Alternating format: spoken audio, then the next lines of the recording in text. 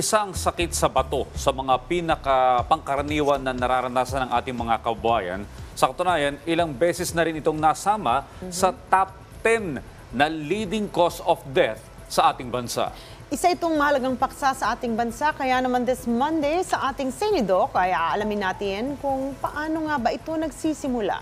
Kaugnay niyan ay makakapanayam natin si Dr. Eladio Peñaranda. Doc, good morning. Good morning, Doc.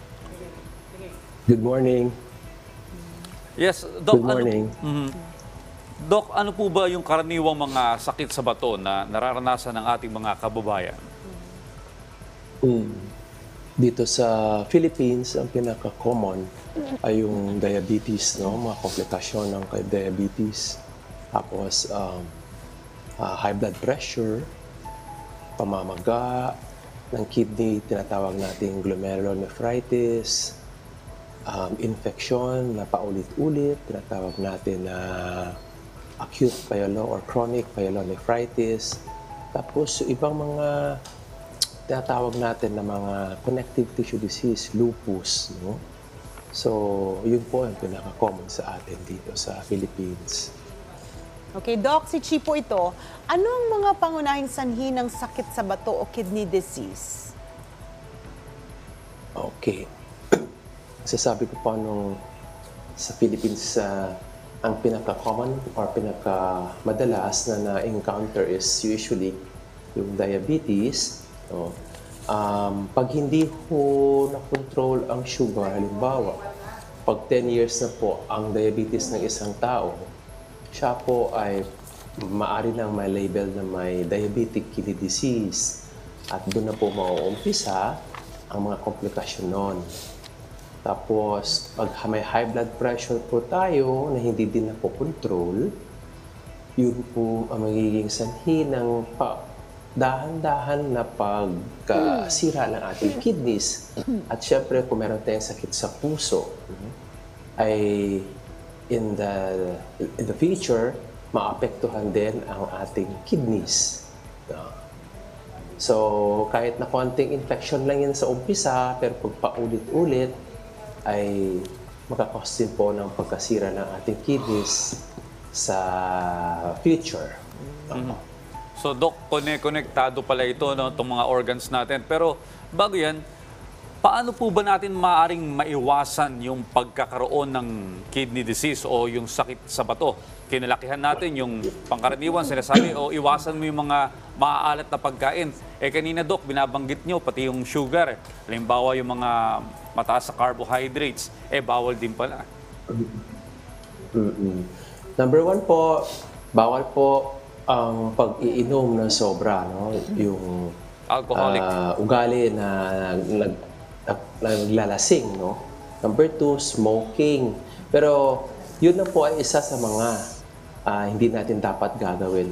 Pero ang pinaka-importante doon po ay meron tayo para maiwasan natin, tinatawag natin na preventive, no? Preventive ah, ah, nephrology, no? Tinatawag namin doon. Ay kailangan po ma-check natin sa pamamagitan lamang po ng simpleng urinalysis. No? Sa urinalysis na yon, kikita natin kung meron doon tinatawag na protein, may mga red blood cell, o mga abnormality. Doon lang mismo sa urinalysis ay marami na po siyang masasabi kung meron po kayong karamdaman po sa kidney. Tapos po, pag meron kayong high blood na hindi na explain pamamaga sa paa, no? Tapos, um, meron po kayong history of kidney disease din sa pamilya, ay malamang ho, check up po kailangan natin palagi po, yung regular check up. Okay, Doc, aside from yung sinabi niyo po na pamamaga sa paa, ano pa po ang mga iba pang sintomas ng kidney disease? At ano po ang mga hakbang o pamaraan para mapangalagaan po natin ang kalusugan ng taong may problema sa bato? Okay. So, ang pinakamaganda po doon ay iwasan po natin ang sobrang pagkain ng maaalat. Kasi po, yun po ay nagdudulot ng pagtaas ng high blood pressure. Number two, kailangan po huwag tayo maging matipid sa water intake natin. Kung wala naman tayong karamdaman sa puso, so pwede natin po i- i-achieve yung uh, at least po 2 liters a day na pag-iinom. And number three, kung meron tayong edad, halimbawa, kumatak na tayo sa 40 and above at healthy naman tayo, ay kailangan natin bawas-bawasan po yung pagkain ng mga karne, meat of beef, meat of pork. Kasi po, tayo lahat, pagdating natin ng edad na 30, ay 31 onwards, ay nababawasan na po yung ating kidney function. Physiologic aging po tawag natin doon. So, kung wala ka namang karamdaman sa ano, sa bato, wala halimbawa, halimbawa wala kang high blood pressure, wala mga trigger like diabetes, kung ano pa man, ay okay lang po yun. I mean, it goes with the age. Pero pag meron kayong diabetes, high blood pressure, at yung ibang sakit na maaari makakasira sa kidneys, ay napapabilis po yun. So, ang pinakamaigi ho ay kailangan may check up po palagi at least once a year naman. Mga blood chemistry katulad ng sodium, potassium, B, and creatinine. Tapos magpa-check po sa cardiologist, sa doktor kung meron po problema sa puso. And urinalysis po huwag nating pong kalimutan. Alright, Doc. Ano ang mga pamamaraan ng paggagamot o yung therapy para sa mga taong meron ng kidney failure? Kailan po kailangan yung dialysis o yung kidney transplant? Okay. So, tinatawag natin sa mga pasyente na yon, chronic na sila, no? may chronic kidney failure na sila or chronic kidney disease stage 5 na. Meaning, meron na pong irreversible damage po doon sa kidney. So, ang mga pasyente usually ay maputla, hinang-hina, parang walang lakas palagi, walang ganang kumain, palagi inaantok, no? At pag hindi na nila kaya, sobrang panghihina nila, pupunta sila sa labo, sa emergency room, mababa masyado na hemoglobin nila na kailangan na sila salina ng dugo. Pagkatapos, taas-taas na ng BUN creatinine nila, sometimes potassium nila, at yung acid sa katawan po ay sobrang taas na. Yun na po yung mga indikasyon na siguro kailangan na siya magtinatawag natin na renal replacement therapy. No? Ang renal replacement therapy, tatlo po yun, peritoneal dialysis, hemodialysis, saka kidney transplant. So, yun po ang ano natin doon.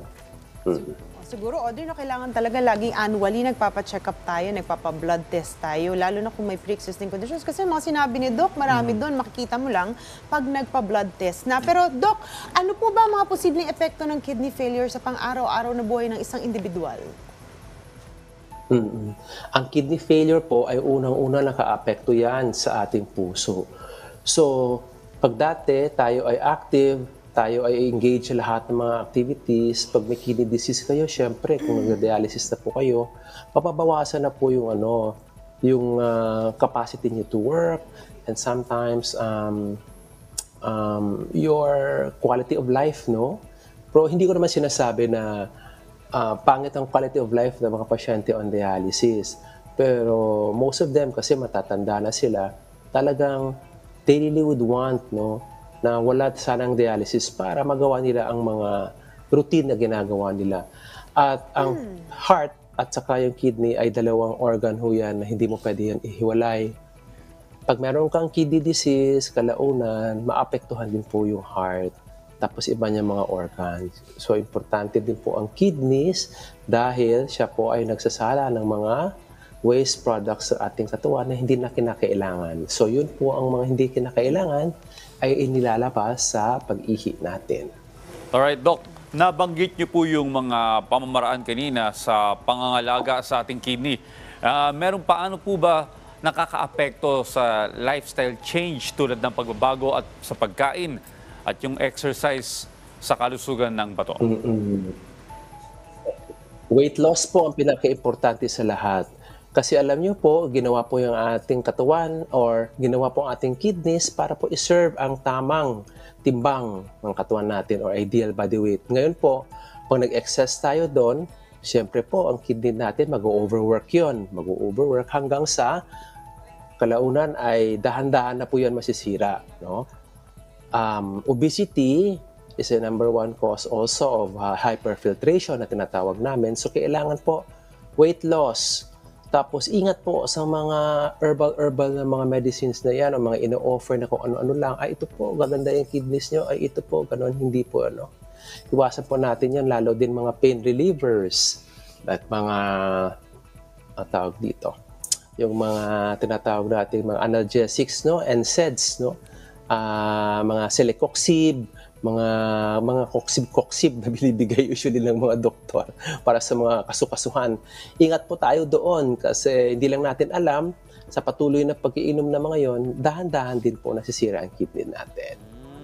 Mag-ingat pala tayo sa mga iniinom natin o kahit vitamins. At mahalaga nga ang papel ng ating mga kidney sa kabuoang lagay ng ating pangangatawan kaya dapat lang natin itong pangalagaan.